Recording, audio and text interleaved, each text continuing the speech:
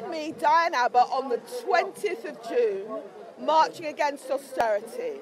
I'll be marching to save jobs and save services. What will you be marching for?